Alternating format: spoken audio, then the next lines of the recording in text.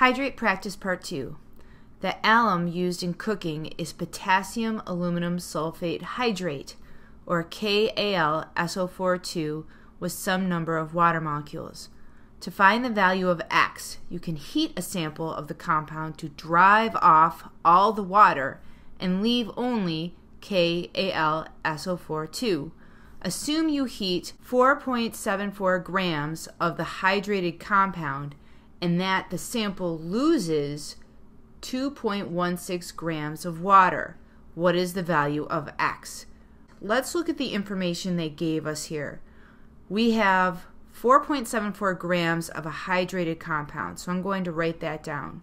So our hydrate is 4.74 grams, and that the sample loses 2.16 grams of water. So our water is 2.16 grams. We need to take the difference of this because when we do a hydrate problem, there's two pieces of information that we need. We need the mass of the water and the mass of the anhydrate. Right now we just have the mass of the water. So if I subtract 4.74 grams from 2.16 grams, I get 2.58 grams of anhydrous salt. The next thing I'm going to do is take this mass of water and convert it into moles. So 2.16 grams of H2O, multiplication sign and a line.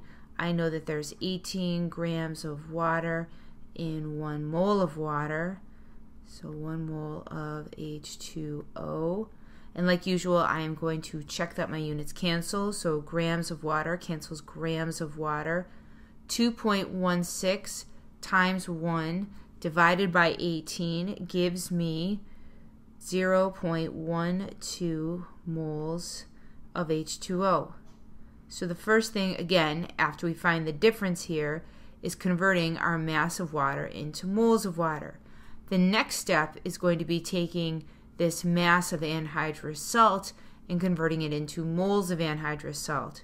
So 2.58 grams of KAlSO42 and convert that into moles. So 1 mole KAlSO42 and the gram formula mass of KAlSO42 is 258 grams. So again, I'm going to check that my units cancel. Grams cancel grams. So 2.58 times 1 divided by 258, that gives me for an answer of 0.0099 moles of AL KSO42. Not the easiest formula to write. My next and final step is going to be taking my moles of water, moles of water, and dividing it by the moles of the anhydrous salt. So if I plug my numbers in here, I'm going to have 0.12 moles of water divided by 0.0099 moles of the anhydrous salt. And when I do that, I get the number 12. I get the number 12. So the final formula for this particular hydrated salt is going to be K A L S O 4 2 dot 12 H 2 O. So this x right here is represented by the 12 that we calculated right here.